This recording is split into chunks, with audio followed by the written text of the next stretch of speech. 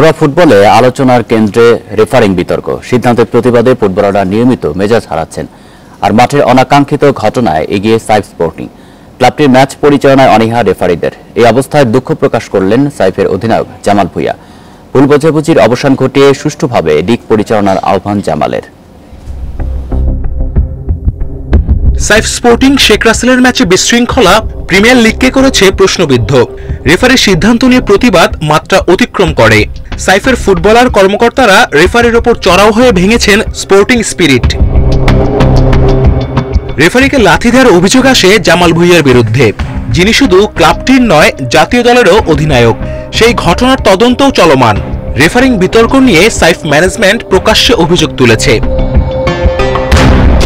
সব মিলিয়ে ক্লাবটির ওপর ক্ষুব্ধ রেফারির এক অংশ। ওদের ম্যাচ পরিচালনায় অনীহা। সবশেষ রাজশাহীতে সাইফের ম্যাচে ছিল নবীন রেফারি সাজ্জাদ হোসেন। সামনের সময়ে কি একই অবস্থা থাকবে?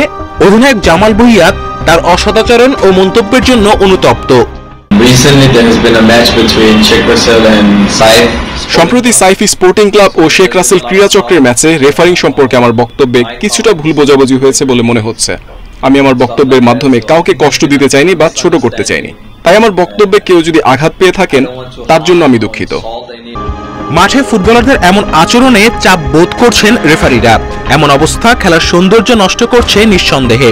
জামাল ভুইয়া সম্মিলিত প্রয়াসে ভালোভাবে লিগ শেষ করতে চান. আমরা ফুটবলার রেফারি বাফুফে সবাই একটা পরিবারের মতো। আর সবাই একসঙ্গে ভালোভাবে থাকতে চাই। তাই আবারও আমার পক্ষ থেকে দুঃখ প্রকাশ করছি। আমি মনে করি ভালোভাবে প্রিমিয়ার লিগের বাকি ম্যাচগুলো শেষ করতে পারব আমরা।